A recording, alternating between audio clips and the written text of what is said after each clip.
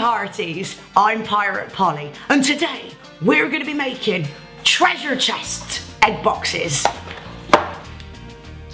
To make your treasure chest, you will need an egg box, make sure it's empty, you'll need a paintbrush, paints, somewhere to mix your paints, and then lots and lots of different things to decorate your treasure chest. I've chosen glitter, coloured card, sticky gems, and to put all of that together, I've got a little bit of PVA glue. But you can use anything you like to make your treasure chest extra special. First, you need to paint your egg box. Now remember, the colour that you choose will be the main colour of your treasure chest. So make sure you pick your favourite. I'm going with brown.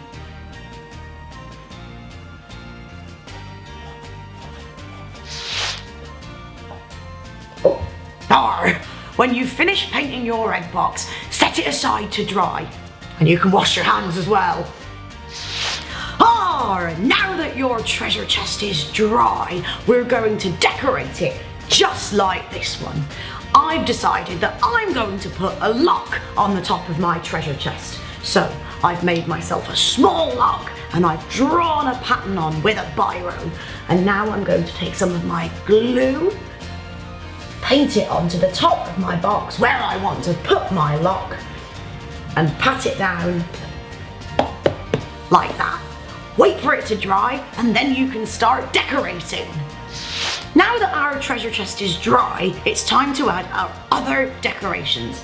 As you can see, I've put some PVA glue where I want my glitter to go. And now I'm going to do the other side. Once you've added your glue, take your glitter and sprinkle it wherever you want the glitter to be. And when you're finished, give it a big shake like this.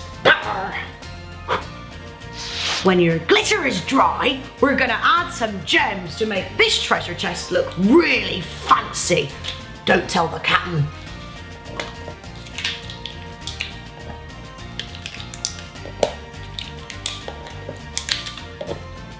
I think that's enough. When you're happy with your decorations, leave your box to dry and then you can fill it with whatever treasures you want. I wonder what's inside the captain's treasure box.